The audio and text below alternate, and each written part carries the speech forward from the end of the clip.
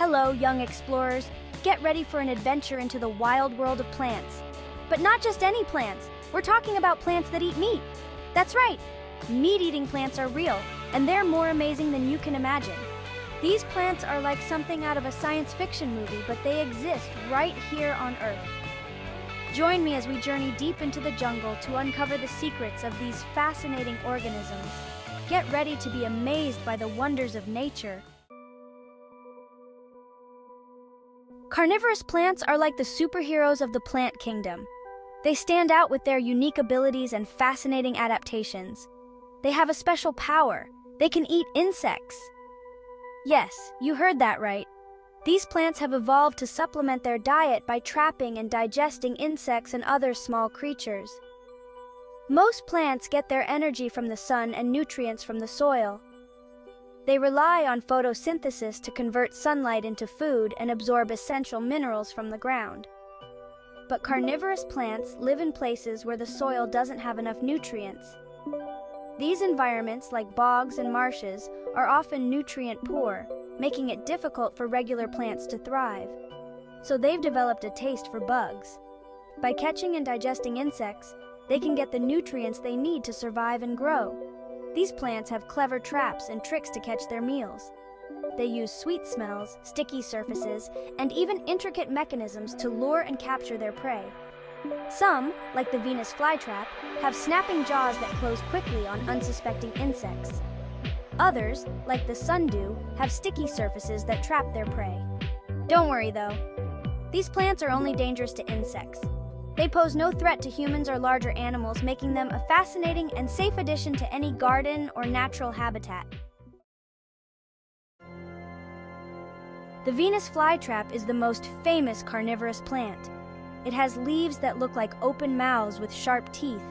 Inside each trap, there are tiny hairs called trigger hairs. When an insect lands on the trap and touches the trigger hairs, the trap snaps shut in a fraction of a second. The teeth interlock to trap the insect inside. The Venus flytrap then releases digestive juices to break down the insect and absorb its nutrients. Pitcher plants have leaves that are shaped like pitchers or cups. These pitchers are filled with a slippery liquid that smells sweet to insects. Insects are attracted to the smell and land on the rim of the pitcher. But the rim is slippery and the insects fall into the liquid below. The insects can't climb out because the walls of the pitcher are too smooth. They drown in the liquid and are digested by the plant. Sundews, sticky situation. Sundews have a different strategy for catching insects. Their leaves are covered in sticky hairs that trap insects like flypaper. Sundews have glistening droplets on their hairs that sparkle in the sunlight. Insects are attracted to the glistening drops and get stuck to the hairs. Once an insect is stuck, the plant releases digestive enzymes to break down its prey. Dinner time for plants. Yum! Once a carnivorous plant has caught its prey, it's time for dinner. But plants don't have mouths like we do, so how do they eat? Carnivorous plants release special juices called enzymes onto their trapped prey. These enzymes are like powerful chemicals that break down the insect's body. They turn the insect's soft parts into a soup of nutrients that the plant can absorb. It's like the plant is having a bug smoothie. Where can we find carnivorous plants? Carnivorous plants are found all over the world, but they usually live in places where the soil is poor in nutrients. They like wet, boggy areas, swamps, and even rocky cliffs. Some carnivorous plants, like Venus flytraps, are only found in a small area of the world. Others, like pitcher plants, are found on every continent except Antarctica. No matter where they live, Carnivorous plants have adapted to survive in their unique environments. Fun facts about carnivorous plants. Carnivorous plants are some of the most fascinating and unique organisms in the plant kingdom. They have evolved incredible adaptations to survive in nutrient-poor environments by capturing and digesting insects and other small creatures. Did you know that some carnivorous plants can count? Yes, you heard that right. The Venus flytrap, one of the most well-known carnivorous plants, has a remarkable ability to count the number of times an insect touches its trigger hairs. It's true. The Venus flytrap can count how many times an insect touches its trigger hairs. This counting mechanism ensures that the plant only closes its trap when it is certain that there is a potential meal inside, thus conserving its precious energy. This helps it save energy and only close its trap when it's sure there's a meal inside. The trap will only snap shut if the hairs are touched twice within about 20 seconds, a clever strategy to avoid wasting energy on false alarms like raindrops or debris. Some pitcher plants are so big that they can even trap small animals like frogs and mice. These plants have deep, slippery cavities filled with digestive fluids where unsuspecting prey can fall in and be digested over time.